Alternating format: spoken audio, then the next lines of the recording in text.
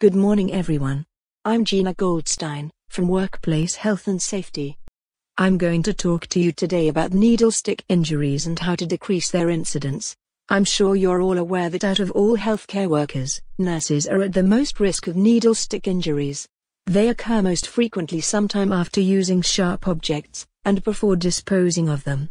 Sharp objects are most often syringes or scalpel blades. You will all be aware of the safety procedures which are already in place.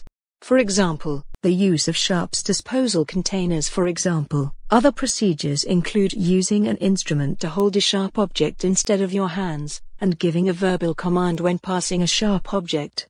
I'd like to go through the needleless IV access system with you now. This is one of the main strategies we're using to reduce needle stick injuries and the transmission of bloodborne viruses. The needleless system, which you can see behind me, replaces needles with a blunt plastic cannula. The blunt plastic cannula is inserted into a split septum access port.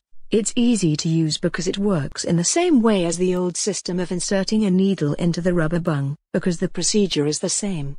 It requires little staff training.